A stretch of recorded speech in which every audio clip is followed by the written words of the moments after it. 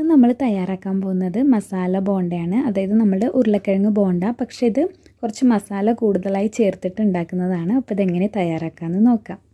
അപ്പോൾ ഇതിനായിട്ട് ഒരു പാൻ അടുപ്പിൽ വെച്ചിട്ടുണ്ട്. ഇതിലേക്ക് ഒന്നര ടീസ്പൂൺ ഓയിൽ ഒഴിച്ചു കൊടുക്കുക. ഇനി ഈ ഓയിലൊന്ന് ചൂടായി വരുന്ന സമയത്ത് ഇതിലേക്ക് പെരുംജീരകം ചേർത്തിട്ടൊന്ന് പൊട്ടിച്ചെടുക്കാം. അതിനുശേഷം രണ്ട് മീഡിയം സൈസ് സവാള ചെറുതായിട്ട് അരിഞ്ഞത് കൂടി ചേർത്തിട്ട് ഒന്ന് വഴറ്റിയെടുക്കാം. ഇതിലേക്ക് ഒരു പച്ചമുളക് അരിഞ്ഞത് കൂടി ചേർക്കാം. ഇതിപ്പോൾ അത്യാവശ്യം ഒന്നും ഇവിടെ വഴന്ന് വന്നിട്ടുണ്ട്. ഇനി നമുക്കിതിലേക്ക് പൊടികൾ ചേർത്ത് കൊടുക്കാം. അപ്പോൾ ആദ്യം തന്നെ എരിവിന് ആവശ്യമായിട്ടുള്ള അളവിൽ മുളക് പൊടി ചേർക്കാം. ഞാനിപ്പോൾ ഇവിടെ ഒരു ടീസ്പൂണോളം ചേർക്കുന്നുണ്ട്. പിന്നെ ഇതിലേക്ക് ഒരു കാൽ ടീസ്പൂൺ മഞ്ഞൾപ്പൊടി അര ടീസ്പൂൺ ഗരം മസാലപ്പൊടി ഒരു ടീസ്പൂൺ ചിക്കൻ മസാലപ്പൊടി ആവശ്യത്തിന് ഉപ്പ്. ഇത്രയും ചേർത്ത് കൊടുത്തിട്ടൊന്ന് വഴറ്റിയെടുക്കാം.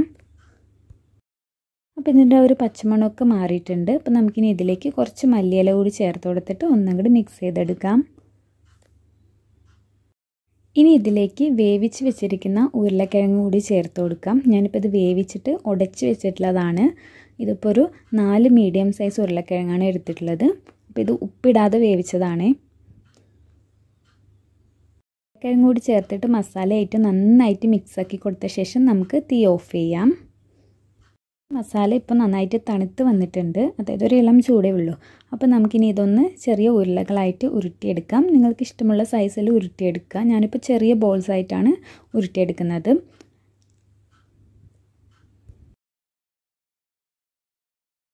ഇതെല്ലാം റെഡി ആയിട്ടുണ്ട്. നമുക്ക് ഉരുളക്കിഴങ്ങ് മുക്കിപ്പൊരിക്കാൻ മാവ് റെഡിയാക്കാം അപ്പോൾ ഇതിനായിട്ട് ഒരു കപ്പ് കടലമാവ് എടുത്തിട്ടുണ്ട്.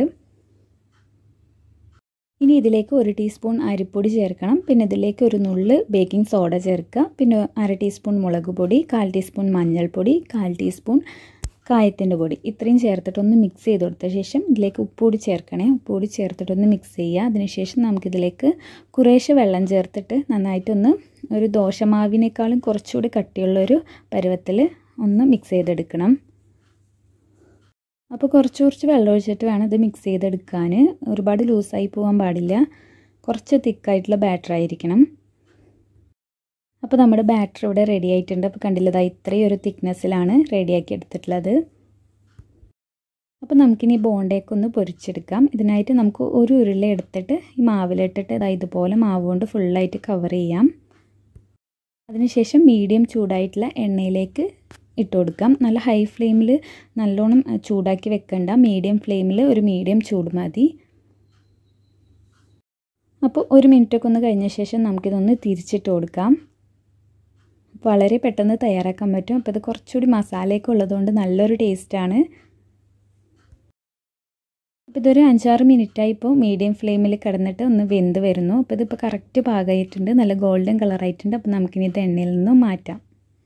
അപ്പോൾ ഇതുപോലെ തന്നെ എല്ലാ ബോണ്ടയും ഞാൻ തയ്യാറാക്കി എടുത്തിട്ടുണ്ട്. അപ്പോൾ നല്ല ടേസ്റ്റി ആയിട്ടുള്ളതാണ്. അപ്പോൾ നിങ്ങൾക്ക് ഇതിന്റെ ഉൾവശമൊക്കെ ഒന്ന് കാണിച്ചു തരാം. അത് കണ്ടില്ലേ? നല്ല ടേസ്റ്റി ആയിട്ടുള്ള ഒരു ബോണ്ടയാണ്. സാധാരണ നമ്മൾ ചേർക്കുന്നതിനേക്കാൾ കുറച്ചുകൂടി ഗരം മസാലയൊക്കെ ചേർത്തിട്ട് തയ്യാറാക്കുന്നതെന്ന് മാത്രം. അപ്പോൾ ഈ റെസിപ്പി എല്ലാവരും ഒന്ന് ട്രൈ ചെയ്ത് നോക്കുക. ഇഷ്ടമായിട്ടുണ്ടെങ്കിൽ ചാനൽ സബ്സ്ക്രൈബ് ചെയ്യുക. അതുപോലെ തന്നെ നോട്ടിഫിക്കേഷൻ കിട്ടാനായിട്ട് ബെല്ലൈക്കൺ കൂടി ഒന്ന് എനേബിൾ ചെയ്യുക. താങ്ക്